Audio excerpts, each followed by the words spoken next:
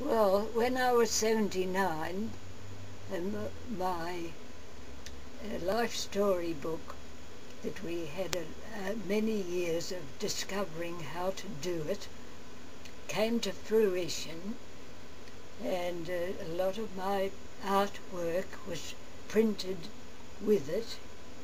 And looking back I think how what a clever little devil I, I was and now that I'm wanting to write the sequel to my life story and I've got more things to say about my family, my real human family and my bark picture family and my hibiscus family which I am very proud of because I hybridized and got two new varieties uh, about and I want to write about these three different families of mine in the sequel to my life story.